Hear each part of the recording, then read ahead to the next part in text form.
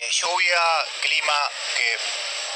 se titula mal clima, pero la gente sigue yendo a la montaña. Bueno, eso nos sorprende bastante, la verdad que, la lluvia no apaga ni un poco la gana de la gente de subir a la montaña. Lo que sí nosotros recomendamos que hay que tener bastante más cuidado con el tema de la lluvia, porque hay, hay refugios que están en la altura, en el cual hay atractivos que se cierran, porque bueno, como ustedes verán, hoy era más bueno, hoy no, porque todavía no se ve el Piltri, porque está con la bruma, pero ayer amaneció todo nevado, toda la cumbre, que no es mucha nieve, pero eso impide poder llegar a la cumbre si no tenés un equipo más técnico con un buen calzado. Cuando digo un buen calzado, son calzados botita que te agarre el tobillo, eh, que la suela tenga dientes, eh, ni hablar la ropa que llevas, que llevas puesta, si puede ser lo más térmica posible, eh, bastones. Entonces nosotros para esta época tratamos de recomendar ir a los refugios que están un poco más abajo, porque la lluvia sigue y va a estar, mañana va a seguir lloviendo, el fin de semana va a mermar y a partir del lunes ya cambia totalmente, pero bueno, con esta lluvia hay senderos que, se cierran por, por el tema también de, pequeñas nevadas que, caen en las cumbres, digamos, ¿no? La gente viene por 3, 4 días y le toca mal clima, igual quieren ir al refugio que eligieron y que apuntaron desde cualquier ciudad de, la que vengan. Eh, estas recomendaciones y sobre todo lo que hablabas de las temperaturas. No es lo mismo la noche de Bolsón que la noche en un refugio con varios metros de altura. No, totalmente. Acá, por ejemplo, la noche anterior eh, marcaba, nosotros manejamos la plataforma de Winguru para, para ver el clima, que la verdad que a nosotros nos da casi, te diría que un 99%, pero vamos a darle un 90% de efectividad, eh, en el cual marcaba un grado, y si marca un grado en el pueblo, en la montaña baja a 2 o 3 grados eh, más, ¿viste? Entonces, con estas temperaturas también recomendamos que si van en carpa, tener una buena carpa, eh, una, buena, una buena bolsa de dormir, eh, con todo respeto, no, no esas bolsas de dormir que van a comprar al supermercado por 1.500 pesos, porque realmente llegás a la montaña y la pasás mal. Una cosa que vayas a un lugar de playa con otras temperaturas, con esa bolsa la podés llegar a pasar, pero necesitas algo un poquito más técnico para subir a la montaña, ¿no? así que nada, nosotros recomendamos con, esta, con este clima que, que traten de hacer más los circuitos, el circuito troncal, ir más para el encanto blanco. Eh, no quiero decir que no se pueda subir al, al, hilo azul o al lindo o al natación o al motogo, no estoy diciendo eso. Lo que digo que para subir a esos lados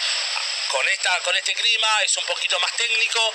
y a la vez, bueno, hay casi un 80 o 90% de posibilidades que cuando llegues al refugio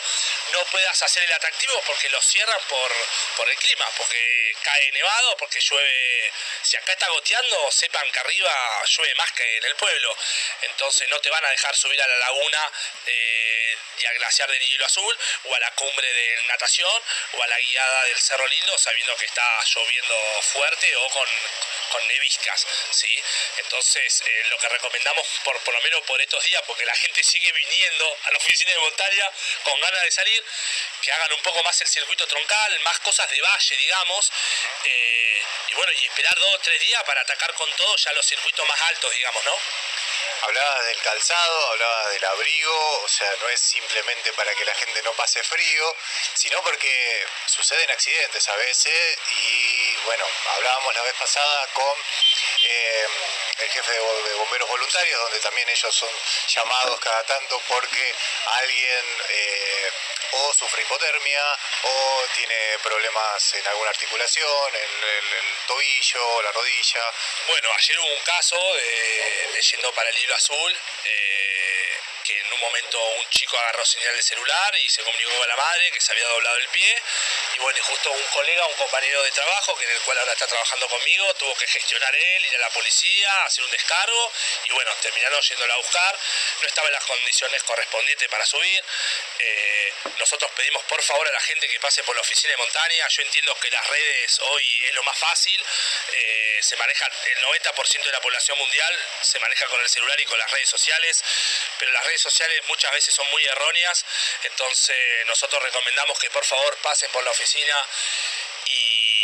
y, bueno, así le damos no solamente una buena explicación, eh, y ni hablar después del equipo. Eh, fundamental no vestirse en capas, la gente se viste en capas y las capas después te las vas sacando, vos necesitas poca capa y buena capa, se, entiende lo que quiero decir, ¿no? Eh, entonces, en lo personal, recomiendo que seamos más conscientes porque estamos en la precordillera, eh, a pesar que hay caminatas que sean de nivel fácil, eh, estamos en la precordillera y fundamental, yo entiendo que hay gente que viene de otra ciudad y capaz que no tiene la ropa hipertécnica, pero fundamental el calzado, ¿entendés? Hay mucha gente que ha subido con cross, que se la han visto con ojotas, que la han visto con las famosas zapatillas Vans, eh, y la verdad que nada, es bastante peligroso no solamente para ellos, sino para el equipo, que si le llega a pasar algo a ellos, hay un equipo atrás que tiene que ir a buscarlo. Entonces la verdad que si vos vas a la montaña a buscar a un chico porque se quebró el pie y vos lo ves que llegó, lo ves y está con unas vans, la verdad que para el rescatista la impotencia es grande, porque no se tomó ni un poco el tiempo de haber pasado por la oficina o, él mismo de haber googleado, ya que no mucha gente no pasa, de, de cómo uno tiene que subir a la montaña, ¿no? Y la importancia del registro también de Amprale, donde eh, lo hacen acá en la oficina o recomiendan que directamente lo hagan por internet. No, el registro se hace online ahora. Eh, a la vez, Amprale, que es el área que rige todo esto, el área protegida Río Azul Lago Escondido, para ser más preciso, está medio ambiente en cada control y abajo en la confluencia, eh, para la gente que no se ha registrado online, ellos registran. Eh, a la vez también a ellos se les dificulta porque se hacen colas muy grandes por registro, entonces no está bueno tampoco que la gente por vagancia, suena muy duro lo que digo, pero diga, bueno, como está el control en, la confluencia, vayamos abajo y nos registramos. Eh, porque a la vez hay cola de espera de una hora para poder registrarse, porque el registro lleva unos mínimos 5 o 10 minutos, entonces la verdad que no cuesta nada, ya que todo el mundo maneja el celular,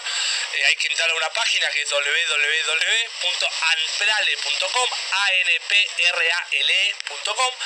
eh, en el cual el registro es automático, le llegan un código a su correo, con ese código le hacen fotocaptura y llegan a los diferentes puntos donde están los controles, muestran eso sin hacer la cola y empieza la gran aventura.